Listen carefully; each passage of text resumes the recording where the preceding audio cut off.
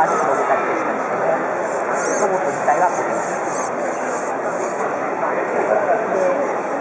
さらにこれ手先は細かく動かすこともできるし大きく動かすと体全体がこう腰ごとっぽい連動してくれます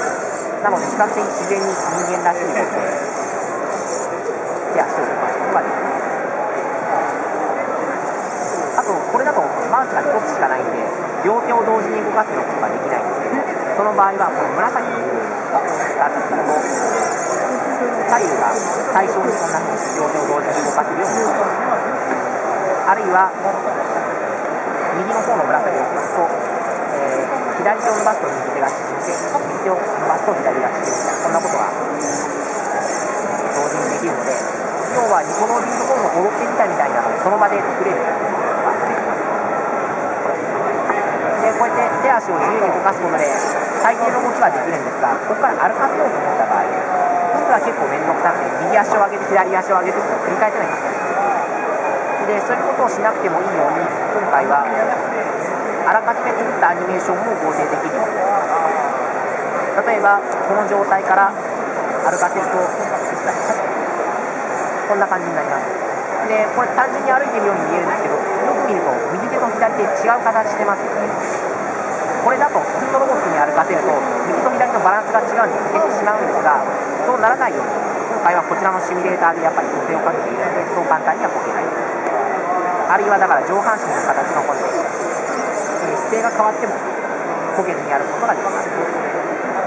歩き方もいろんな種類をこうやって再現す。ることができてバランスが取れているんで片足立ちみたいなこともでそういう時にロボット側では一体何を考えているのかっていうとこんな感じで各足の重心位置を出します例えば今両足が赤いのはこれは両足に力が加わってますよ痛いですよ意味なんですがこれを腰を持って左右に動かしてやると片足だけが赤になりました要は片足だけに力が加わっててこっちは全然重心が乗ってないこの状態だと例えば足をひね。っても体自体は動かないでこれなんかもやっぱり足の裏が平行なまんまで足をひねることができます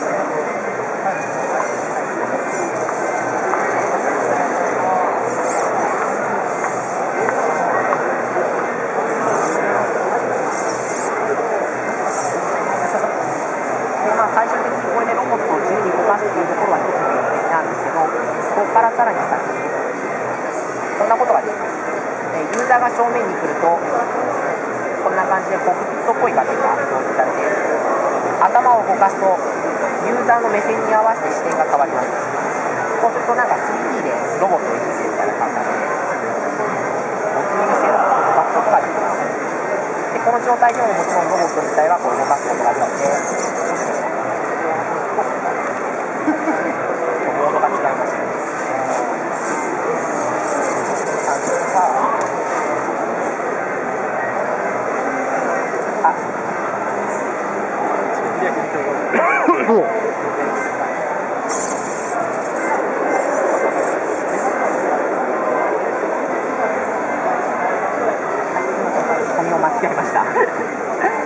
あんな感じで、えー、コックピットっぽい動作ができるんですけどそれに加えてここに実はカメラがついてまして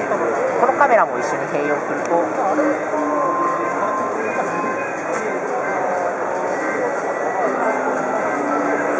こんな感じになります。ロボットから見えてる風景が背景に映ってさらに頭の動きに合わせて見える範囲も変わる。こうすると本当に中からロボットを動かしているような感覚でロボットに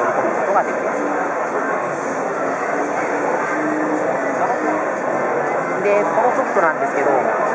こっちのロボット自体はもう改造しないで動かせるんでこのロボットをお持ちの方であれば、えーソフト自体は明日無料で公開しちゃいますのでもしよかったらというところなんですが結構趣味で作ってるソフトなんでもうすぐに公開しちゃおうと思ってよかったら試していただける方がいると嬉しいんですが。はこのソフト全部作られたんですか？い一から作ります。はい。例えばこれなんかはそのこけないようにするために物理演算っていうのをやってるんですトを使うため作るためのこのヒントにどこの足にどれだけ力があるかこれも1からなんでかっていうとそうしないと普通のパソコンじゃリアルタイムに動かないからで現状のマシンはこういう EPC っていうようなネットブックでうよ非常に CPU の弱い CPU コンピューターでも動かすことができる。